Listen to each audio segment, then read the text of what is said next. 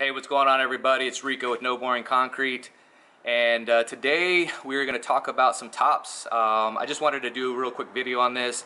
A lot of people always ask, um, are your concrete countertops uh, poured solid? What's the underside look like? Why is it reduced by so much weight, like you were talking about in your previous video? You know, what, what's the difference between that? First, first thing I want to do is make a, uh, a disclosure, if you want to call it. Not all concrete is created equal. If, that, if I said it right.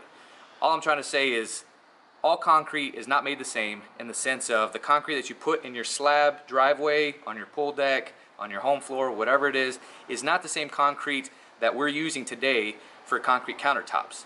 So don't think that maybe your brother-in-law or your cousin or uncle is going to be able to cast these tops. They can, they can, they can do it the old-fashioned way. But the way that we're doing it is is is a newer technology. It's a different mix. It's a stronger mix, and you will never get the finished looks uh, the way that we're casting this, the way uh, if you were to do it the old-fashioned way, that is. So I'm going to do a little quick walkthrough and show you the underside of the stuff that we're working with. Again, it's glass fiber reinforced, known as GFRC. There's a few other mixes that people uh, come up with and have different uh, abbreviations or acronyms or whatever. But uh, the one I'm working with is just glass fiber reinforced concrete, and uh, we're going to just do a quick walkthrough here.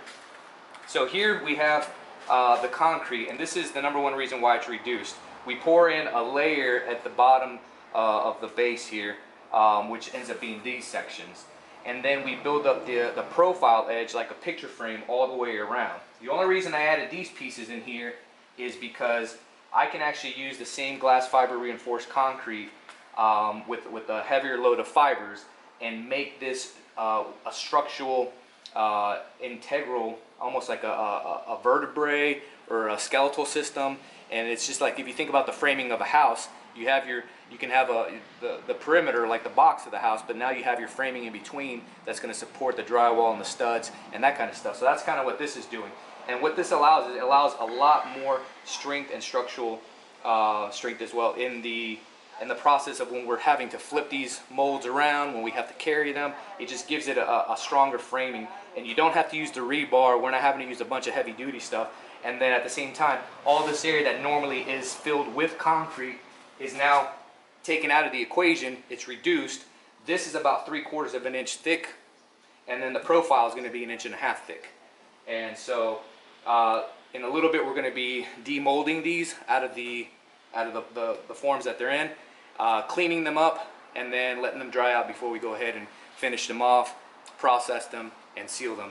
Uh, we have a uh, delivered uh, schedule date for tomorrow, so we're cutting it kind of close, but it's it's it's nothing, nothing new around here with no boring concrete, but we get the job done and the, the tops look great every single time. And I just want to show you real quick uh, another set.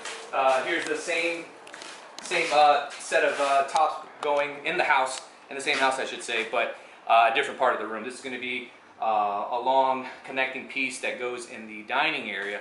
The other one's going to be in the living room. And like I said, we're going to be taking these out of the mold and cleaning them up and going from there. So if you have any questions, any concerns, please feel free to ask. Please subscribe. I have had several people call, uh, call me directly actually, uh, email me, message me, and text me and that kind of stuff. So I'm, I'm open to, to, to answer any questions and help out in any, any possible way that I can.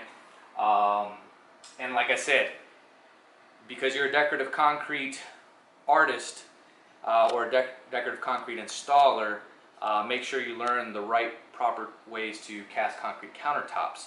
And if you hire someone, if you're a customer and you're looking to hire someone to do the tops, um, like the way I like to say it is, I wouldn't hire my framer to do my finished work or my finished trim work. My framer can frame out and do all the roughing work, but my finished trim guys are going to make that detail, the crown molding, look phenomenal.